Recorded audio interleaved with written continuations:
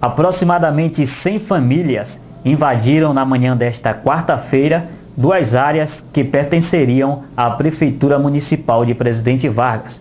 Os terrenos ficam localizados na zona rural do município.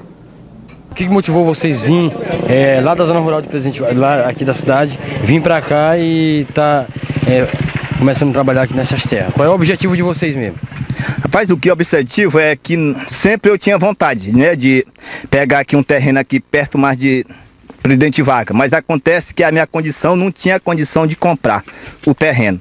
Então ontem eu vim aqui para Presidente Vargas cheguei e disse que tinha essa invasão aqui. E eu corri até aqui e tirei um pedaço de chão para mim, porque eu tenho casa, mas em propriedade dos outros, não minha, dizendo que é meu, porque lá na hora que o patrão dizer que é para mim ir embora, eu vou para onde?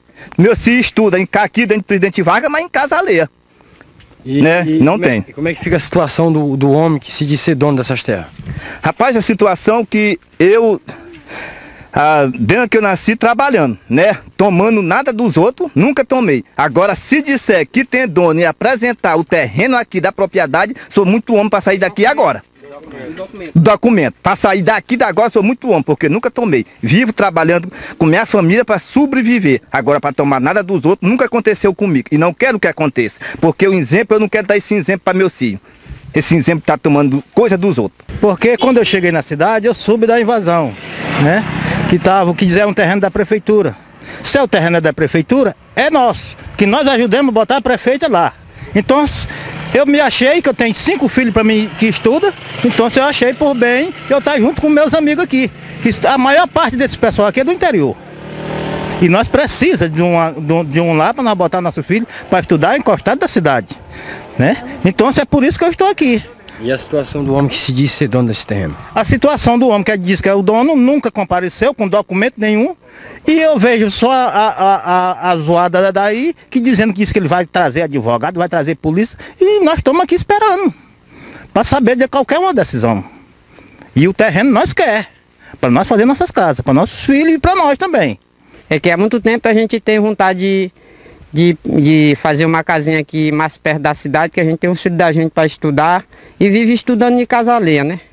Então, isso que me motivou. Ontem eu cheguei na rua e encontrei a, a, a história que eles estavam fazendo esse trabalho para cá e eu, e eu vim acompanhar o trabalho. E estou aqui trabalhando também, já tirei um pedacinho para mim fazer uma casinha também. Qual é a metragem do seu, do seu lote? O meu é 10. Por quanto? Por 30. 10 metros de frente com 30 de fundo? É, verdade. Cada um de vocês tem só essa metragem? Essa metragem. Então, para nós largar de mão, para ele curtir amanhã, depois nós faz o seguinte, a gente vai enfrentar aqui. Toma aqui os companheiros, tudinho, como eu já falei, é só gente do, que precisa do interior, não é aqueles meio que foram por seu armar, não, é gente de fora do interior que precisa, que tem fio aqui no prédio, a gente vai que vem de dia, vem à noite, vai por debaixo de chuva. Então é só isso que eu tenho para dizer para você. Quem podia embarcar aqui, eu, na minha, no meu conhecimento, quem podia embarcar isso aqui, como é é a prefeita, porque ela que é responsável pela terra. Rapaz, porque eu tinha vontade de fazer uma casinha mais perto da rua. Aí eu cheguei aqui na Presidente Vargas, ontem eu vi a turma descendo pra cá, eu digo, rapaz, vou tirar um pedaço também pra mim. Porque eu não tenho condição de comprar, não tenho dinheiro pra comprar um terreno pra fazer uma casa aqui. Aí eu vim e tirei um pedaço pra mim e eu não vou desistir agora não. Então a gente vê a situação aqui hoje, desse terreno aqui abandonado, ó, ó a situação do mato. A altura do matagal aqui está uma mata. Você vê que esse terreno aqui ele está sendo cuidado, ele tem dono, ó. tem alguém cuidando. Jamais a gente vai entrar aqui. Lá na frente está sendo cuidado. Ali também tá, mas aqui não tá. Então como a gente não tem condição de comprar um terreno hoje, e a gente precisa ter o nosso filho, eu pelo menos não tenho.